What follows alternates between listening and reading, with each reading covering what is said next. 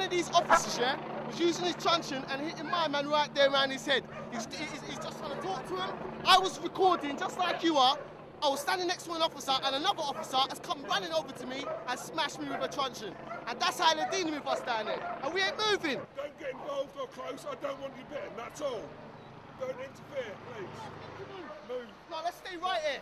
No, Right, he's tell me let's stay here, he's let's stay. We're staying there. No. Move. No. Sir. You don't get Tell him to move.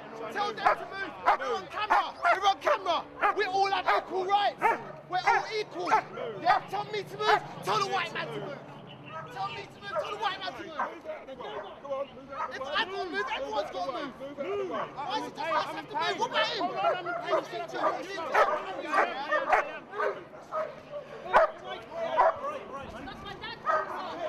They just bit me. They said we was all there. They just set the dogs on us. That's it. They told us to go up here and just set the dogs on us.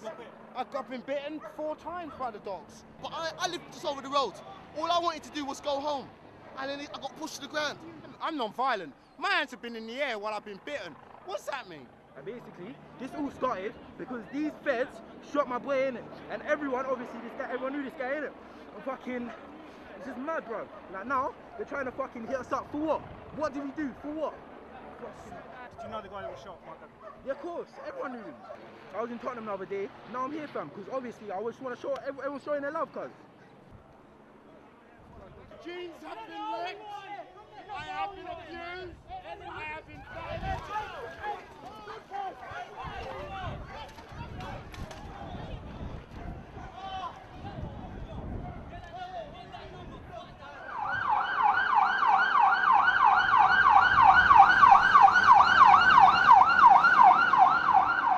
Listen, let me tell you something. You see, you see, half of the people in this community have all got a story to tell about the fucking police and individual brutality. I've got my story, Ragga's got his story, and half of the man them on this road has got a story about brutality, an individual personal story. So when they come out on our streets and try and tell us we must do what we're told and we're all together, what the fuck are they expect? We ain't going nowhere.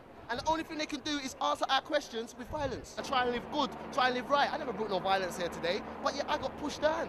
I got a dog set on me, King. I got a dog set on me like I'm an animal. Yeah, You know what? You see, when you treat people like animals, they, be, they start behaving like animals. you know? exactly. They'll start behaving like animals. The one thing I want to know is this, yeah.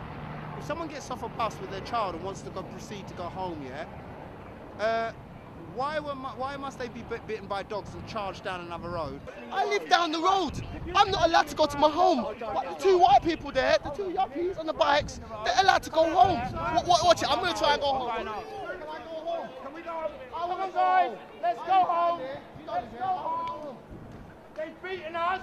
They've given us their doctrine. Now we're allowed to go home. Remember, shop, consume, do as you're told, and you'll be safe.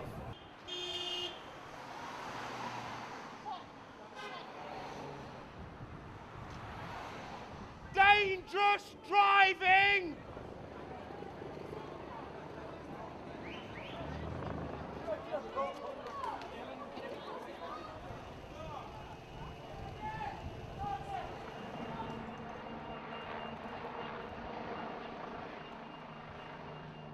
Just came now and I saw the window broken. I just come from work. I don't know what happened. I just saw it broken. I have to drive home. I got no choice.